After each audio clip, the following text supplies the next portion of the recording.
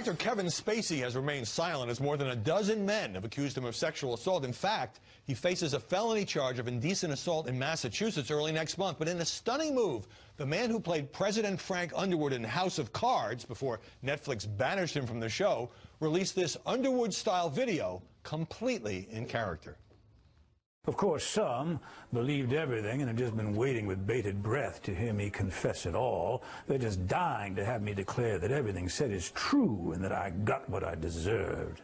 But you wouldn't believe the worst without evidence, would you? You wouldn't rush to judgments without facts, would you?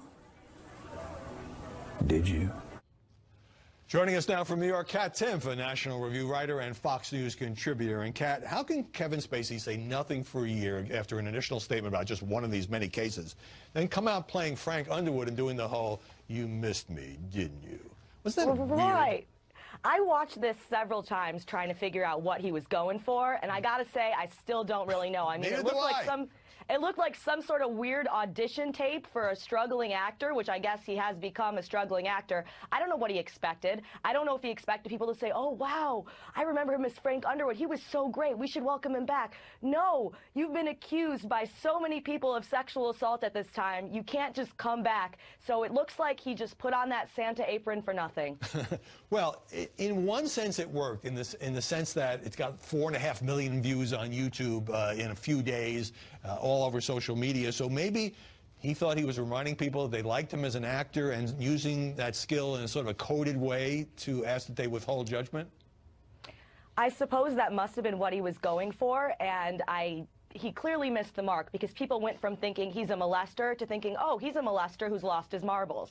They just don't think he's a predator now. They also think that he's crazy because this was an absolutely insane video. And it kind of shows how much things have changed because in the past, if you were a powerful man, you used to be able to get away with, with predatory behavior and accusations of predatory behavior. And now that the Me Too movement's happened, things have changed. And he's trying to play by the old rules that don't exist anymore. Yeah, I think you've kind of nailed it with that soundbite.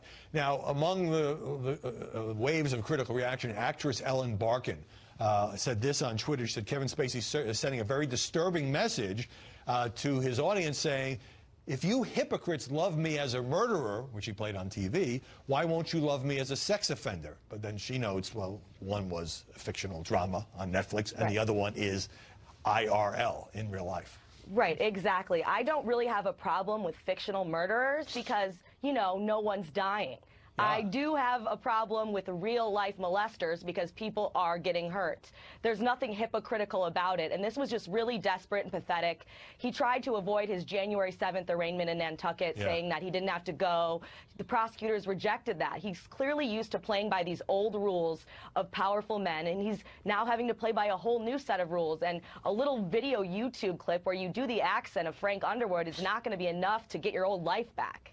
Not going to be enough. Well, you know, police in that Massachusetts case say that there's video evidence of him putting Right. his hand down the pants of an 18-year-old man, uh, and his parents say Spacey got the guy drunk. Uh, Spacey's lawyer says it was consensual. But so finally, is, is, is Kevin Spacey trying to bypass through this video the usual process of apology and possible redemption? Yeah, absolutely. He's saying he didn't do it. He's saying he didn't do it. There's no way he did it. But when you have this many people who have accused you of the same thing, sorry, bro, you did it. We all know that you did it. And this isn't going to work. People aren't going to believe you. This is a new time. You can't use and abuse your power to take advantage of vulnerable people anymore.